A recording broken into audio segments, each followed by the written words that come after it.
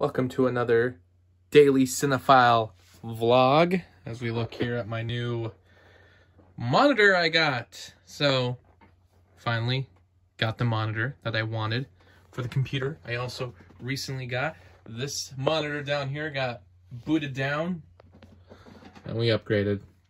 It's actually editing a video that will be a Patreon exclusive, so if you want to see that, you'll just have to go on my Patreon Got some wonderful hair going on there. This was actually filmed a couple months ago, but uh, I finally got to finishing it. And, um, but this monitor, as you can see, is an ultra wide monitor. I thought about getting two monitors. I thought that was the standard thing to do. I didn't realize that there was even a thing like an ultra wide monitor. I actually had a monitor already down here. Not for that computer. That actually is an older computer from, this one's like from 2001, I believe. It's very old. Uh, it's the first computer my family ever had. It was the first computer my parents uh, ever had. And uh, we actually had a different computer sometime later. That actually, this keyboard that's all dusty and crap. And this monitor was for, it was for an HP. Uh, that was from like 2007, 2008. Uh, we don't have that anymore. That actually had a virus on it. It was a time before I understood anything about computers. So, you know, at that age, wasn't really able to do much about it. Uh, we threw it out but we still have this really old one here. It's got some games on it, and like I said previously in a different video, I do need to get some files off of it. I'll probably get rid of it. Uh, but I thought I'd be using that monitor there, because that one's actually still pretty good shape. I'm not sure about the quality, uh, but I know it's in good shape to use. Uh, and I thought I would just get another monitor similar to it. However, the dual monitor seemed like a way better idea. As you can see, I got all of my video software here. I can look at all the files and stretch things around as much as I want, which wasn't really possible with one screen, especially when I was just using the laptop before. I had actually edited the video with that monitor as well, but this definitely gives way more room for everything, and it makes me super happy to finally have. Uh, when I first hooked it up, it didn't seem like it was going to work. Uh, I did the HDMI hookup, and when it was... Uh, finally on the screen, it was actually just doing a 16 by 9 aspect ratio. It wasn't doing the full, uh, you know, spread right here, which was disappointing. Uh, but I was able to figure it out and then realize, oh, I can make it work. There was a separate cord that it came with right here, um, which is actually a display port cord. And as you can see, one of the corners is chipped off. Actually, I'll take the cover here.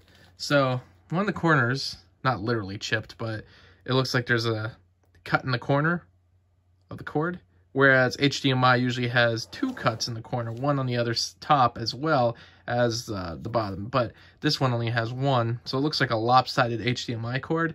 I had no idea what this was, uh, but it's a display port cord, and a display port was not available on the back of this HP that I have.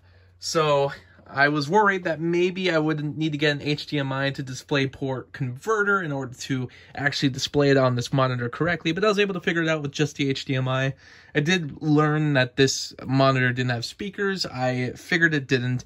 For some reason, I thought there was maybe a chance, just given that did have HDMI input on it, because HDMI does have sound that goes through as well. The sound is going through to the monitor, but there uh, is actually an output on the back for speakers um, which weirdly enough, it's only an aux uh, auxiliary output. There isn't um, the higher quality digital output. They usually have a uh, one of those. It's called optical, actually, optical outputs for the modern digital sound, which is usually on TVs. Uh, this doesn't have that. This only has an audio output from from what I'm looking at. And um, anyways, I ended up putting some speakers up there for now.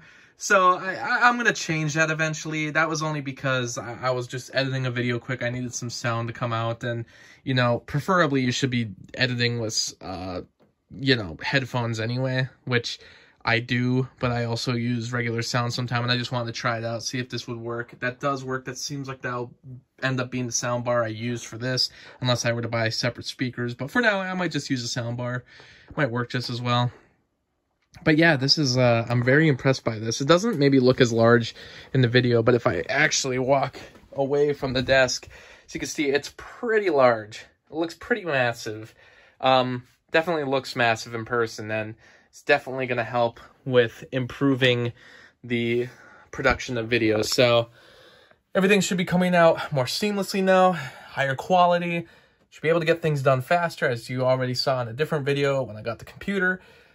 The render times are way quicker now, and I have a lot more room to edit with. So, looking forward to the future.